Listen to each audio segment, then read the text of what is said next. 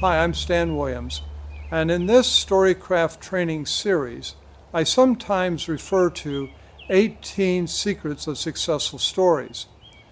These are things that I've enumerated somewhat arbitrarily uh, as a result of my consulting and script reviewing over the years. Things that are missing in stories that are absolutely necessary to connect with audiences. In the Storycraft training series, I refer to them, but I don't cover them 1 to 18. I mention them as they appear in the episode sequence, but I don't take any particular note of covering all of them. So I wanted to take this moment uh, and take this short little free episode and list them for you just to let you know what they are. They're also available on my website and on my blog and on a bookmark that's available to you if you'll simply send me a self addressed stamped envelope to the Moral Premise Bookmark, Post Office Box 29, Novi, Michigan 48376. So here now are those 18 secrets of success, at least as I enumerate them. Number one, your story must have a strong, ironic hook. The hook is some intriguing physical thing that brings awe to the audience's curiosity. It's an impossibility, something ironic. That describes what the story is about. You're only allowed one per story, all else has to be normal. Aristotle said, A convincing impossibility told truthfully is better than an unconvincing possibility told falsely. The second secret of successful story structure is that you must have an engaging log line. Ideally, the log line ought to read like this An imperfect protagonist viscerally and ironically battles a powerful and ubiquitous antagonist for a visual and heartfelt goal to escape grave and consequential stakes. Now, of course, you should replace all those generic words with specifics from your own story. The third secret of successful stories is that you must have a conflict of values, a vice and a virtue, or a strength and a weakness that are absolutely, ideally opposed to each other, such as humility versus pride, liberality versus covetousness, chastity versus lust, meekness versus anger, temperance versus gluttony, brotherly love versus envy, diligence versus sloth, or any of those others on the right, like hope versus fear, generosity versus greed, which are all derivations of the seven capital virtues and vices on the left. The fourth secret is that your story must be based on a true and consistently applied moral premise.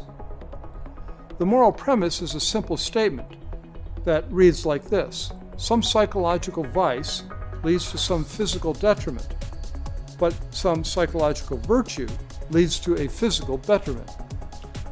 The fifth secret of successful stories is that the moral premise must be consistently applied in all aspects and all levels of your story. How do you spell consistent? Well, it has to apply to the character arc, to the act, to the sequence, to the scene, to every line, to the photography, music, sets, wardrobe, props, the editing, packaging, and marketing. The sixth secret of successful stories is that your protagonists must be imperfect. That is, they're some mixture of virtue and vice. The seventh secret is that your story must be about a protagonist or a hero who is active and not passive. The eighth secret is that the protagonist or hero of your story must have a physical and visible goal that the audience can root for. The ninth secret of successful stories is that your protagonist has an internal need that they recognize. And it's when they recognize that need that they're able then to make progress toward achieving their physical and visible goal. The tenth secret is that the story must be about a protagonist whose internal need is what creates the outside insurmountable physical obstacles.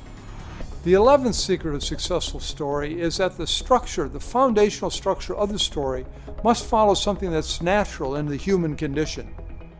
The 12th secret of successful stories is at the moment of grace, that moment when the protagonist recognizes the truth of the moral premise, should occur very close to the midpoint of the story, that is 50% through. The 13th secret is that all the characters must make their own decisions for the turning points in their own subplots. The 14th secret is that all characters pursue individual goals in each of their subplots. The 15th secret is that the protagonist's spine or main plot must have at least 13 beats. The 16th secret of successful stories is that beat for beat, we create an emotional roller coaster for the audience for every subplot. The 17th secret of successful stories is that the writer must suture the audience into the story. We call this identification. And the 18th secret of successful stories is perhaps the most important of all. It says, entertain first. Show, don't tell. Hope you'll take advantage of this training so that your writing may vanquish fear and bestow hope. I'm Stan Williams.